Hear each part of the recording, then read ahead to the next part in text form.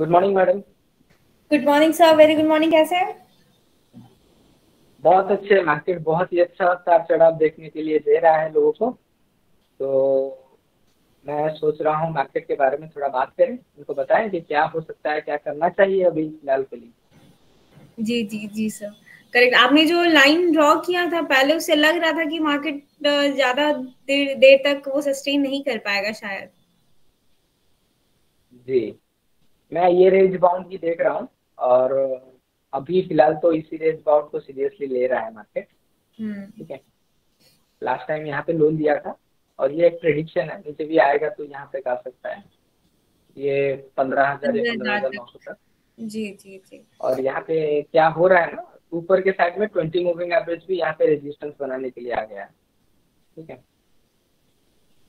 तो आज मार्केट में आज जो मार्केट में सही है हमें एक ग्रीन कलर का मार्केट देखने को मिल रहा है दो से ढाई परसेंट आज निफ्टी बढ़ा है। आपका क्या विचार है कि ये सस्टेन कर पाएगा या फिर वहाँ से फिर से ये रिवर्स लेगा?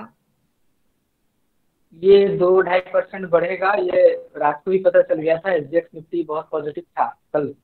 मैंने मैसेज भी किया था ग्रुप में कि आपको पॉजिटिव मार्केट कल देखने के लिए मिल सकता है।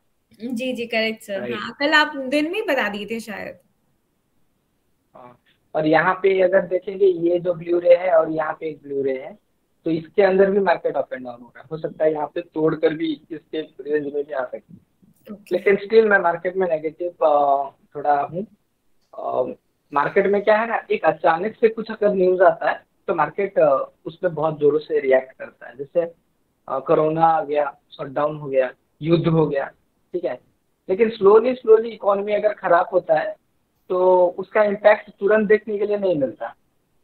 जब वो स्लो स्लो मिलके कुछ बड़ा हो जाता है और पता चलता है कि अरे इतना बड़ा प्रॉब्लम्स हो चुके हैं तभी जाके मार्केट फिर से रिएक्ट करता है। तो मार्केट हमेशा शॉकिंग न्यूज़ पे रिएक्ट करता है। जी सर और जब एक पैनिक फॉल आता है तो रिकवरी भी थोड़ा जल्दी आ जाता है।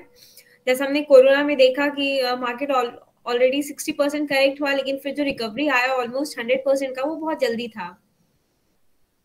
जी हाँ लेकिन ये जो रिकवरी था, ये थोड़ा क्विक रिकवरी था, लेकिन मैं अगर आपको दिखाऊँ 2008 का मार्केट कॉल फॉल तो उतना क्विक रिकवरी नहीं था। वहाँ पर थोड़ा टाइम लिया था मार्केट तो हमेशा एक साल, डेढ़ साल लगा देता है। अभी देखो 2011-12 में जो डॉलर प्राइसेस आए थे तो 2011 से लेके 2015 तक मार्केट एक जगह रुक गया था। ठीक है? तो अगर उससे पहले 2009 का अगर प्राइसेस देखें तो 2008 से 2009 मार्केट गिरता गया। और हम्म। फिर से 2008 के हाई तक पहुँचते पहुँचते 2011 हो गया। तो मैंने ऐसा क्विक रिकवरी कभी नहीं देखा। मेरे लाइफ में ये सबसे बड़ा क्विक रिकवरी मैंने देखा है। जी जी तो, जी यहाँ पे मार्केट में काफ़ी ज़्यादा करेक्ट हुआ था सिक्सटी परसेंट के अराउंड और शायद पहले मार्केट करेक्शन हुआ था लेकिन वो फोर्टी परसेंट हाइएस्ट गया था टू थाउज़ेंड एट में शायद और टू थाउज़ेंड ट्वेंटी का जो ये था वो सिक्सटी परसेंट का करेक्शन ये काफ़ी जल्दी हो गया मार्केट में रिकवर मार्केट में क्या होता है ना मैडम जब भी मार्केट गिरता है तो रिकवरी करता है तो हमेशा मार्केट गिरने और बढ़ने के बीच में जो चेंजेस रहते हैं वो है सर्कमस्टांसेस के जो परिस्थितियाँ तो 2008 के परिस्थितियाँ अलग थे 2020 के परिस्थितियाँ अलग हैं और अभी के परिस्थिति अलग हैं। तो सारे मार्केट फॉल को हम कंपेयर नहीं कर सकते लेकिन हाँ कुछ चीज़ें हैं जो कि बार बार होते हैं। जैसे हम थोड़ी देर पहले डिस्कस कर रहे थे पर्सनली कि जब मार्केट तेज़ी पकड़ता है तो सबसे पहले ऑटो सेक्टर भागता है चीनी के शेयर्स भागते हैं और पेपर्स के शेयर भागते हैं। ठीक है उसी तरह मार्केट जब गिरने का वक्त आता है तो यही सारे पहले गिरते हैं। तो ये सारे कुछ है जो बार बार आ, मतलब होता रहता है मार्केट में। और एक चीज़ अगर फास्ट के डेटा में हम देखें तो मैं वीकली चार्ट ले लेता हूँ। आपको एक चीज़ मैं दिखाऊँगा आप हैरान हैरान हो जाए 2008 में जो मार्केट क्रैश हुआ था आपको अभी लग रहा होगा कि मार्केट अभी बहुत लोग पार्टिसिपेट कर रहे हैं। बहुत लोगों को पता चल गया। लेकिन 2008 का थोड़ा वॉल्यूम देखिए। जी सर जी करेक्ट और 2020 2020 का वॉल्यूम देखिए। हम्म। तो एक्चुअली अभी जितने लोग घुसे हैं जितना मतलब वॉल्यूम हो रहा है वो 2008 के मुकाबले कुछ नहीं है। हाँ तब बहुत कम लोग मार्केट में थे लेकिन बहुत वॉल्यूम था उनके बहुत काम कर रहे हैं। अभी अकाउंट ज़्यादा है लेकिन छोटा छोटा काम बहुत सारा हो रहा है। यही डिफरेंस जी अभी रिटेलर्स तो, का नंबर्स बढ़ गए पहले अगर देखा जाए तो लाइक आधा हो गया है अभी। पहले की जो वॉल्यूम्स थे उसके पहले की जो वॉल्यूम्स थे उसके कंपेयर में भी हाफ़ हो गए हैं वॉल्यूम्स नहीं वही एक चीज़ था। मैं ब्रोकिंग हाउस में काम कर चुका हूँ। मोतीलाल ओसवाल सिक्योरिटीज में कुछ साल मैंने काम किया है अपना एक्सपीरियंस है। तो अब अब जब मैं किसी क्लाइंट के साथ बात करता हूँ तो मुझे बताते हैं कि हाँ प्रसाद सर आपका तो अच्छा है वॉल्यूम बहुत अच्छा बन रहा है अभी। आप बहुत बहुत लोग अभी अकाउंट खोल रहे हैं और आपका बहुत अच्छा कमीशन बन रहा होगा।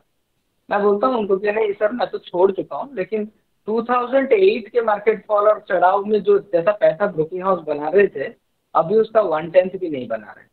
तब ब्रोकरेज हाई था मतलब आ, मतलब ऐसा था वन परसेंट या पॉइंट फाइव का ब्रोकरेज था। जितना टर्नओवर करोगे उसका एक परसेंट दे दोगे या फिर पॉइंट फाइव डायरेक्ट अभी बीस रुपए में जितना बड़ा ऑर्डर है मान लो। ठीक है? तो वॉल्यूम बढ़ रहा है लेकिन ये जो मार्जिन है उनका घट रहा है। इसलिए ब्रोकिंग हाउसेस में उतना तेज़ी देखने के लिए नहीं मिल रहा उतना पैसा वो कमा नहीं रहे जितना कमाना चाहिए।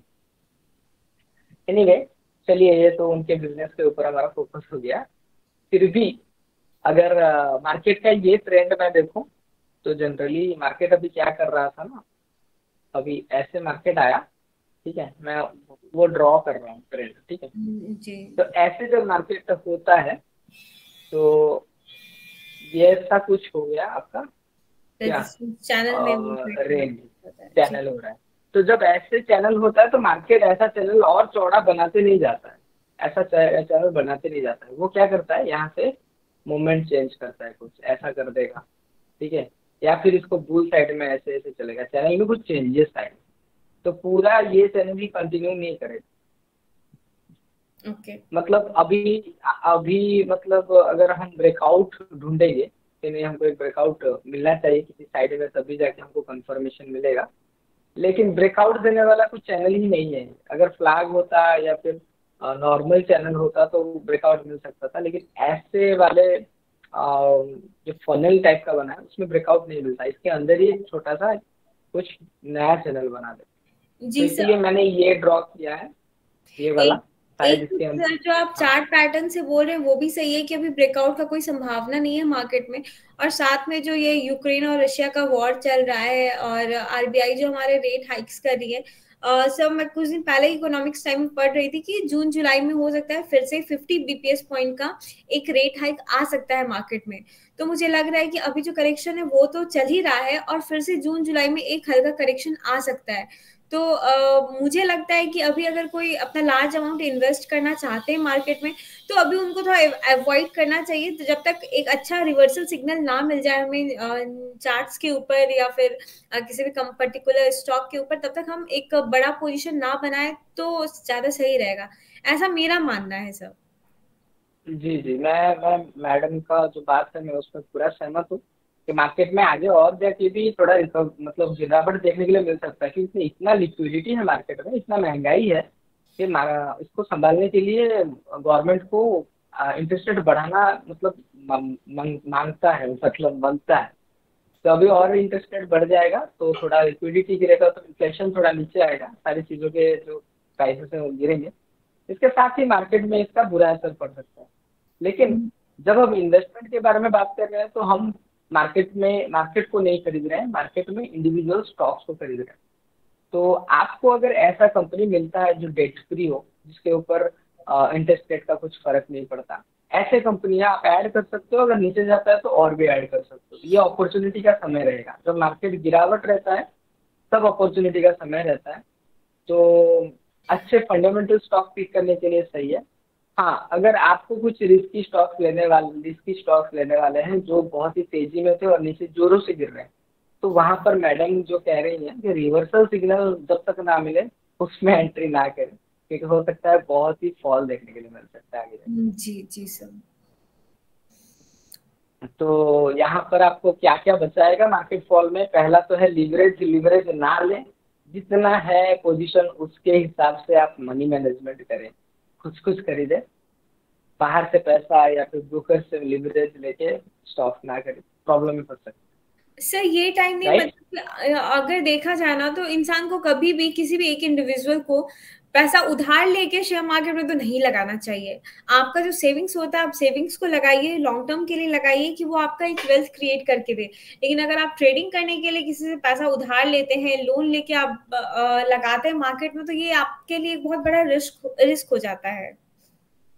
हो है और इस गिरावट में फंसा देगा आपको। बहुत लोग लोन लेके मार्केट में आए हैं और ऐसा भी प्रॉब्लम हुआ है कि वो लोग सुसाइड किए टू थाउज़ेंड एट के क्राइसिस के टाइम में एक कहावत आई थी कि आपको ऐसा कुछ था कि आपको अगर बिल्डिंग में आग लग जाती है फिर भी आपको आराम से लाइन मिल सकता है बाहर निकलने के लिए। ये वॉल स्ट्रीट का आपका कहना था कि अगर बिल्डिंग में आग लग जाती है तब भी आप फ़र्स्ट यू कहा जा सकता है।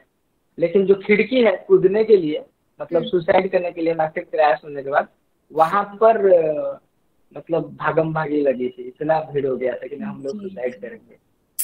तो ऐसा टाइम हो गया। तो कभी भी लिवरेज लेके मत कीजिए कुछ सर वो बात अलग है लाइक लोग डायलॉग सुनते हैं कि रिस्क है तो इश्क है लेकिन जब ये बात लाइफ पे आती है रियल लाइफ पे आती है तो इसका मीनिंग बहुत ज़्यादा डिफरेंट हो जाता है। किसी को भी कोई भी कदम उठाने से पहले एक बार ज़रूर सोचना चाहिए कि भाई रिस्क है इश्क है ठीक है लेकिन रिस्क कितना है ये भी देख ले। उसके बाद अपना पैसा जी। जी मैं ये फ़िल्म देख रहे हैं आप सही है। रील्स देखिए फ़िल्म देखिए लेकिन उसको इम्प्लीमेंट मत कीजिए। एक एक बहुत बहुत बड़ा डायलॉग अभी फ़ेमस हुआ था मार्केट में कि इंसान हो या मार्केट जाता ऊपर ही है। तो अगर ये इतना सच होता तो वोडाफोन आइडिया में यस बैंक में लोग फंसते नहीं।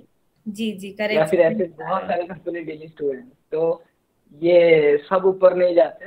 कुछ ही कंपनियाँ ऊपर जाती हैं जिनके फंडामेंटल अच्छे हैं। और निफ्टी में एनएससी में बीएससी में कुछ चंद ऐसे स्टॉक्स हैं जो आने वाले दस साल में आपको दिखेंगे। बहुत सारे स्टॉक्स डूब भी जाएँगे। अगर आप डाओ हंड्रेड अगर देखेंगे डाओ हंड्रेड सौ साल पहले का डाओ इंडेक्स जो था उस तीस उस सौ कंपनियों में से सिर्फ़ एक कंपनी ही आज बचा है। वो है जी जनरल इलेक्ट्रॉनिक्स इलेक्ट्रॉनिक्स और तो बाकी जो 99 कंपनीज़ हैं वो वैनिश हो गए वो नहीं है आज मार्केट में। ऐसा है क्या? मुझे ये बात पता, पता नहीं था। सीरियसली ऐसा होता है। तो आप तीस साल पहले चले जाओगे जो जाइंट कंपनीज़ थे वो आज के डेट में एनएससीडीसी में बहुत सारी कंपनीज़ लिस्टेड ही नहीं। जी जी। हाँ ये तो सही तो बात है हाँ। ये तो इसको बोलते हैं कंपटीशन बोलते हैं। मतलब मार्केट में इतना कॉम्पिटिशन है अगर डाइवर्सिफाई नहीं है एक कंपनी या फिर टेक्नोलॉजी अडेप्ट नहीं कर पा रही है वो कंपनी चलती नहीं है। हमारा जो पुरानी कंपनीज़ है उनमें कुछ ही कंपनीज़ है जैसे टाटा अभी तक सर्वाइव किया है सौ सालों से क्योंकि वो डाइवर्सिफाई है। कभी वो कपड़े से पैसा बना रही थी कभी नमक से पैसा बनाया कभी स्टील से पैसा बनाया और अभी आईटी से पैसा बना रही जी। इसीलिए वो ज़िंदा है। और उनका भी फ़ेज़ इतना बुरा पड़ा था बीच में कि गवर्नमेंट ने भी कुछ कुछ टाइम उनको सब्सिडी और हेल्प करके उनको खड़ा करवाया। तो ऐसा होता है तो आप ऐसा मत सोचिए कि मार्केट हो या इंसान जाता ऊपर ही है, ये सुनने के लिए अच्छा है। मार्केट जाएगा, लेकिन आपका स्टॉक ऊपर मिल जाएगा। हाँ सर सही कह रहे हैं आप आप बिल्कुल सही कह रहे हैं। ये बात हम सारे इन्वेस्टर्स को, सारे ट्रेडर्स को दिमाग में रखना चाहिए कि आप कभी भी लिवरेज लेके तो स्टॉक मार्केट में पैसा नहीं लगाएँ। आप हल्का हल्का अपना हर मंथ में कुछ सेविंग कीजिए और फिर उसको लगाइए। और अगर आप अभी मार्केट में पैसा लगा रहे हैं तो आप ये देख लीजिए कि आप जिस स्टॉक में पैसा लगा रहे हैं, उसका फ्यूचर है भी या नहीं? क्या वो दस साल के बाद जाके वो आइडिया वोडाफोन बन जाएगा या यस बैंक बन जाएगा? तो आप एक अपना खुद का रिसर्च कीजिए, उसके बाद ही आप किसी भी कंपनी में इन्वेस्टमेंट करें। आज का वीडियो से यहाँ और ये जो भी हाँ और एक बात कहना चाहूँगा लास्ट में हाँ. कि फ्यूचर है या नहीं सिर्फ़ नाम से और काम से मत देखिए कि हाँ जैसे कि पेटीएम पेटीएम का फ्यूचर है लेकिन कंपनी कंटिन्यूसली लॉस कर रही है। तो फ्यूचर है लेकिन प्रॉफिट नहीं कर पा रही है वो सस्पेंड नहीं कर पाएगी फंडामेंटल्स भी सही होना चाहिए कि कंपनी प्रॉफिट कर रही है। कंपनी का आने वाले समय में पोटेंशियल है। और उसके साथ वो आपको सस्ते में मिल रही है। ये सबसे अच्छा बास्केट है आपके लिए इन्वेस्टमेंट करने के लिए। ऐसे हज़ारों कंपनीज़ है जो हमको लगता है कि आगे जाके बहुत बड़ा हो सकता है। लेकिन अभी उनका ऐसा हालत है अगर दो साल ऐसी हालत रहा तो वो कंपनी नहीं रहेगी। ठीक है? तो फंडामेंटल एनालिसिस में जितना सबसे फोकस आपको करना है कि लॉन्जिविटी आगे जाके कंपनी रहेगी या नहीं और इसमें मैनेजमेंट क्वालिटी कैसा है कि वो उतार चढ़ाव मार्केट में जो आएगा उसको संभाल पाएगा और सबसे अच्छी बात है कि बार्गेन सस्ते में मिल रही है या नहीं ये सब फोकस कीजिए। जी थैंक यू सो मच हाँ बहुत अच्छा बात आप बताए हमारे व्यूअर्स को। थैंक यू सो मच आज का वीडियो और यहाँ पे हम आपके हाँ, एंड करते हैं. थैंक यू व्यूअर्स अगर आपको हमारा वीडियो पसंद आता है तो लाइक करके हमें थोड़ा इंकरेज कीजिए. हमारे वीडियोस को अपने फ्रेंड्स के साथ शेयर कीजिए. हमारे चैनल को सब्सक्राइब कीजिए. Thank you very much thank you और आप कमेंट के थ्रू बताइए और क्या क्या चीज़ें हैं जिसके ऊपर हम वीडियोस बना सकते हैं. आपके लिए ज़रूर जल्दी से जल्दी videos thank you very much investment on blog